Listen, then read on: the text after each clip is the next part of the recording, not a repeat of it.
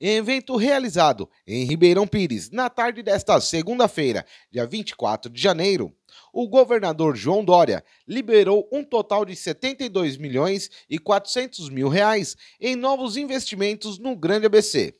Os recursos serão aplicados nas obras do Hospital Municipal Santa Luzia, no projeto de transposição da linha férrea e a implantação de um centro de longevidade ativa em Ribeirão Pires. Já na área de educação, Mauá, Rio Grande da Serra e também Ribeirão Pires receberão investimentos para coberturas de quadras esportivas nas escolas. O ABC do ABC acompanhou os anúncios. Confira. Ao longo dos meus 50 anos de vida pública, são 50 anos de trajetória pública, política, por este ABC, nós nunca vimos Todos os prefeitos por aqui passaram, não só em Ribeirão Pires, mas em todo o ABC, bendito aqui pela deputada Carla Morando, também pelo deputado. Me. Márcio da farmácia, desculpa, Márcio, o Covid me deixou assim. Nós não vimos isso em 50 anos. Víamos isto sim, candidatos e depois governos virem as nossas cidades com pequenas obras, muitas vezes sem fundamento, para que nós os acompanhássemos nas suas trajetórias. Mas há uma coisa que eu tenho que dar a mão à palmatória. O João Dória fez a reforma que este Estado precisava, do jeito que eu fiz a reforma nesta cidade. E tudo que estamos vendo hoje aqui, tem o dedo do governo João Dória, tem um pedaço do governo João Dória, tem a benevolência e o carinho para Ribeirão Pires do governo João Dória. Um homem que teve a coragem, e disso eu tenho dito aqui, governador, eu não teria coragem de fazer o que você fez com a vacina, quando todos e muitos, muitos mesmo, diziam que isso não era nada, esse homem teve a coragem, a coragem de ter um único palanque, um único palco para fazer do seu mandato, fazer a credibilidade da vacina. E foi ela que me salvou, foi ela que salvou muitos de vocês, foi ela que salvou algumas das pessoas que vocês conhecem.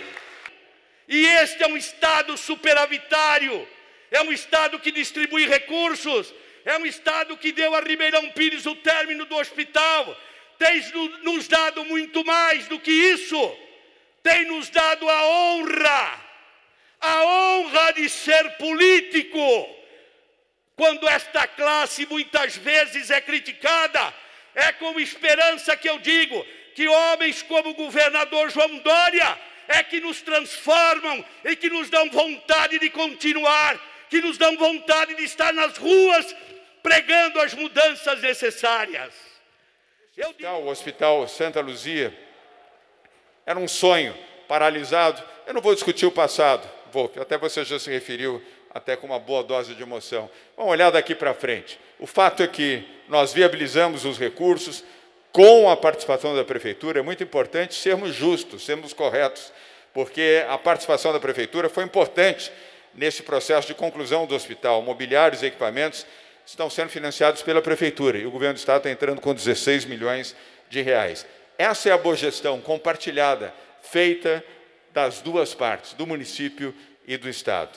Conte também se você tiver outras iniciativas voltadas para a saúde e voltadas para o social, para os mais pobres, os mais humildes, aqueles que são os desvalidos, são os mais vulneráveis. Se tiverem outras ações aqui, onde vocês queiram participar, entrando com 50%, Vinholi, desde já está autorizado, o governo do Estado de São Paulo participa com 50% também.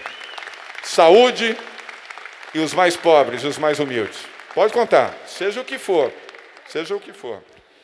E este centro, nós vamos ter, neste hospital, são 90 leitos, incluindo os leitos de UTI, e especialmente aqueles que são voltados para a saúde da mulher e da mulher gestante. Vamos ter um centro obstétrico, um centro de parto normal, um pronto atendimento ginecológico, maternidade e berçário, além de um centro cirúrgico com capacidade para pequenas cirurgias, serviços de análises clínicas e de imagem também. Isso vai ajudar muito a cidade, muito. E também a própria região como um todo, mas especialmente aqui, Ribeirão Pires.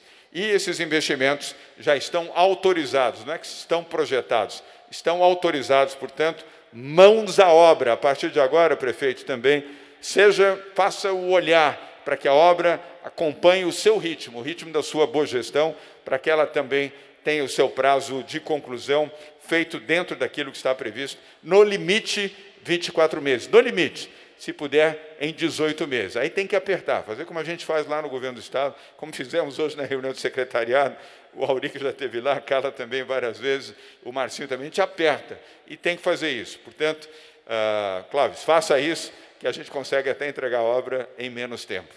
Também a assinatura para a liberação da construção do Centro de Longevidade Ativa aqui para Ribeirão Pires. Meu respeito às pessoas que com mais de 60 anos, e principalmente os idosos vulneráveis, têm agora mais aqui um centro para o atendimento exclusivo a essas pessoas. Isso é respeito pelas pessoas mais simples e principalmente as pessoas com mais idade. Elas precisam deste centro de longevidade, que, aliás, é um dos grandes projetos elaborados e colocados em prática pela Célia Parnes. Nós já temos 20 destes projetos executados, e Célia, parabéns, é o maior número de centros de longevidade feitos em São Paulo na história de qualquer governo. A gente deve muito a você. Vamos dar mais uma salva de palmas para Célia Parnes, dedicada, mulher, mãe, cidadã e brasileira.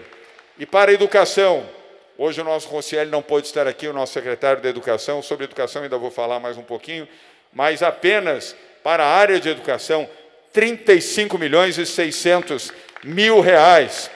37 escolas estaduais beneficiadas com esse investimento aqui em Ribeirão Pires e região. Portanto, a satisfação, Cláudio, de você estar aqui eh, gerenciando também este momento onde o investimento é tão expressivo, Lígia, em educação.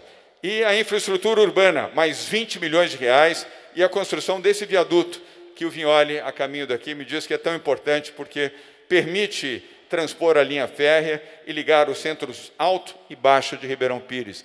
As pessoas terão menos tempo perdido para chegar ao trabalho e para retornar às suas casas. Também a autorização já feita, agora é fazer o acompanhamento para que a obra seja realizada e bem no menor tempo possível. O que prefeitas e prefeitos querem é recursos para oferecer em obras aquilo que a população espera do gestor, seja ele governador, seja ele prefeito. Aqui foram 72 milhões de reais, minha gente, 72 milhões de reais nesses atos aqui.